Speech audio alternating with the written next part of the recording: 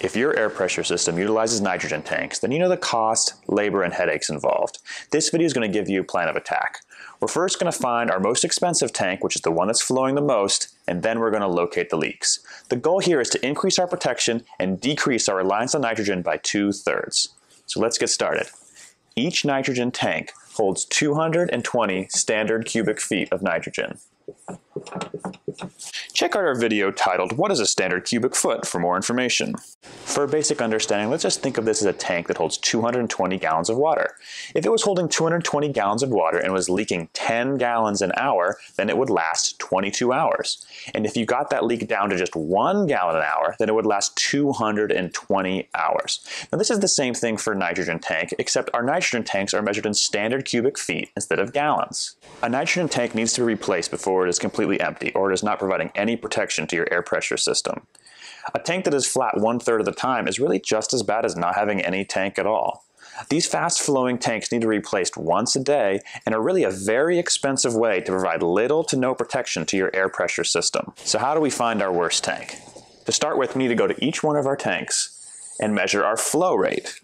To measure our flow, we need to install a 0 to 9.5 standard cubic feet an hour flow finder between the regulator and the cable. Make sure you install the flow finder with the arrow in the right direction. Use a flow gauge to take a reading at the flow finder. Refer to our video titled Using a Flow Gauge for more information. It is linked in the video description.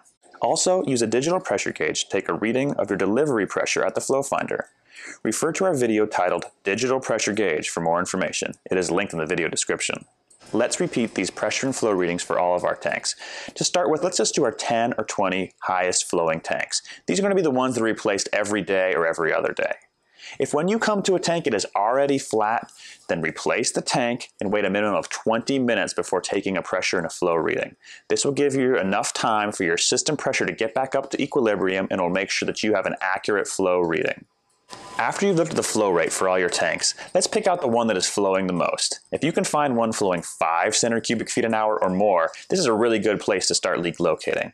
At 5 standard cubic feet an hour, a tank will go flat in 44 hours, and so it really needs to be replaced every day. If you can get that number down to 1 standard cubic feet an hour, then the tank will last 9 days. Now that we have found our worst tank, we can leak locate. Here's a hint. The biggest leaks are the easiest to find. This example here has a four-way splice being fed by a nitrogen tank here. Step one is to take another flow and pressure reading at the tank. Then we do a zero leak projection. A zero leak projection, or ZLP, does not tell us where the leak is, but it will tell us where the leak is not, and will dramatically reduce our area of search. Refer to our video titled Zero Leak Projection Calculation for details. It is linked in the video description. I'm going to do a quick zero leak projection here. Our input pressure is 3.2 psi. Our flow rate is 4 standard cubic feet an hour, and our cable is a 1200 pair 24 gauge pulp cable, which has a unit of resistance of 1.5. By entering this information into our zero leak projection, we have an area of search of 533 feet. What this means is that our leak is no further than 533 feet away from our area of measurement. So if this is our area 533 feet from our area of measurement, then there's no point in looking in this manhole here or here because the leak we're looking for is not going to be there. If the splice is a three-way splice, then you need to do a separate zero leak projection with the pneumatic resistance of the lateral cable. There's a good chance that this lateral is an air core PIC cable and will have less pneumatic resistance, so the area of search will be different. Now that we have our area of search, it's time to use some tracer gas.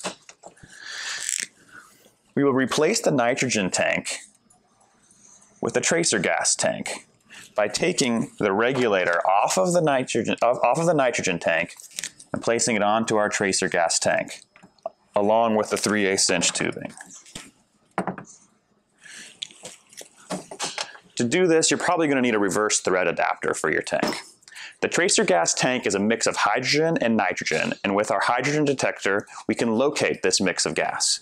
The tracer gas should be no more than 5% hydrogen, and the tank should have a green label. Once we have our tracer gas set, we get to the most important part. We need to let it sit overnight and come back the next day. The biggest reason that tracer gas doesn't work is because you don't let it sit long enough. If the tank you are replacing is flat, make sure that the tracer gas is not flowing more than 4 standard cubic feet an hour. You want to still have gas in that tank the next day when you show up to do your leak locating. So here's the fun part. We're going to find that leak that nobody has found for the last 20 years. Without a hydrogen detector, finding these leaks was nearly impossible. And having the right tool is everything. Refer to our video titled Hydrogen Leak Detector for details. It is linked in the video description. Begin by putting the head of your detector near the manhole hook. If the detector doesn't start screaming in the red, then you have not found your leak. More than likely, the plug in the cable feeding the B-box is leaking. Open the B-box and sniff the area of the exposed pairs. If there is a plug on a riser, be sure to check the first splice case to see if that plug is leaking internally. The PIC lateral cable that enters a building is another prime target. Sniff the area of the exposed pairs to find if the plug is leaking or missing. If your nitrogen tank is feeding a splice case with plugged interlacing, then the plug may be leaking. Depress the valve stem on the attached splice case downstream from the plug and take a reading for hydrogen. Most important here is to stay within the area of the zero leak projection. Popping lids down the street is a waste of time.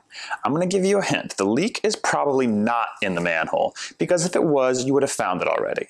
It might be up a duct in a section leak. If you locate gas coming from up a duct, it may not be worthwhile to fix this problem. In that case, we recommend moving the tank two or more manholes away further to the field. This puts a little more pneumatic resistance between your tank and the section leak, which will slow down the flow rate.